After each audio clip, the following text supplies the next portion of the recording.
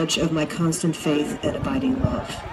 In token, in token and pledge of my constant faith and abiding love. Christine, repeat after me.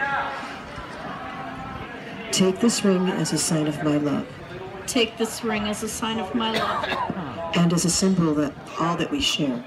and as a symbol of all that we share.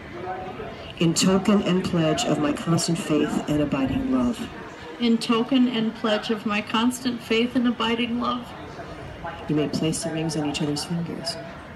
Which one's the left hand? It's the letter L.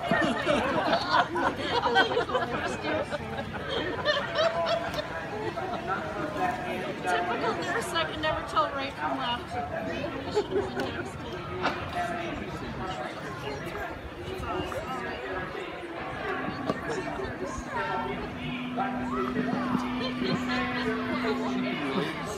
Okay.